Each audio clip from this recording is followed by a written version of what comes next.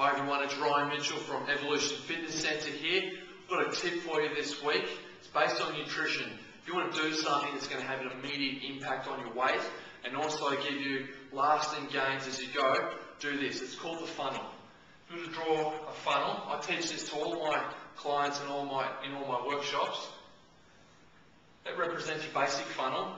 You see at the top, it's where the highest, it holds the most amount of quantity in the funnel. This represents as your breakfast, the most calorie dense meal of the day. Then you'd have a snack here, and then you'd have lunch.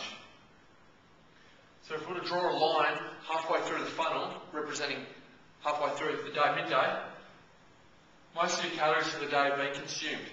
So that by the time you get into the afternoon, evening, you're really tapering off. This funnel represents that. Picture here, the least, the least amount of uh, contents in the funnel sift through. This represents another snack and dinner.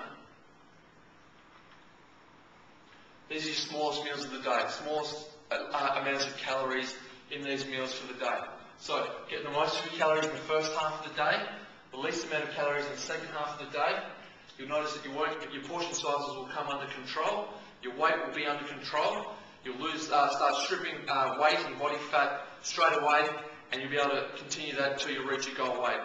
Give that a go. If you have any more questions on it, drop me a line at ryan at evolutionfitnesscentre.com.au. Happy to hear from you. Until then, I'll see you next week.